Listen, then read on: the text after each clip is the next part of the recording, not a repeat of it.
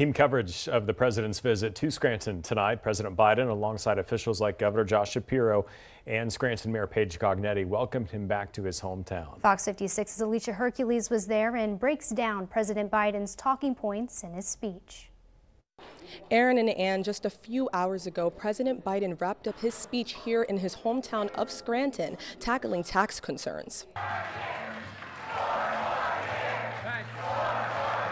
President Biden spoke to a vibrant crowd in Scranton, further elaborating on his plan to tax the rich and lower taxes for working class families. He also vowed to have a 25% minimum federal income tax for billionaires. The president's speech made it clear that he is focusing on the working class families in America, while former President Trump also campaigns while actively battling court cases in New York City. Folks, trickle down economics failed the middle class.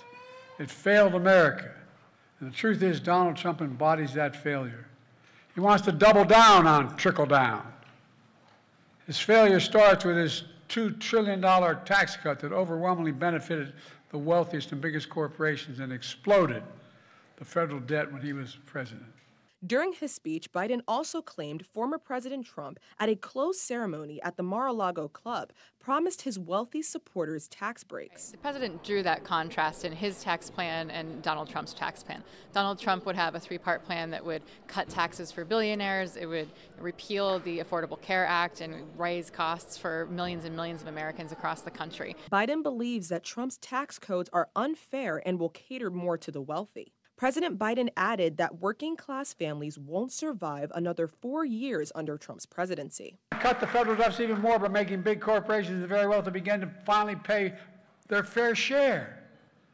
We're not asking anything that's unusual. Under my plan, nobody earning less than $400,000 will pay an additional penny. With Pennsylvania being the largest battleground in the country, President Biden will spend time in Lackawanna, Allegheny, and Philadelphia counties during his campaign run. Reporting from Scranton and Lackawanna County, I'm Alicia Hercules with Fox 56 News, first at 10. And while Biden was in our area, Trump made a campaign stop at a New York bodega after a day in court.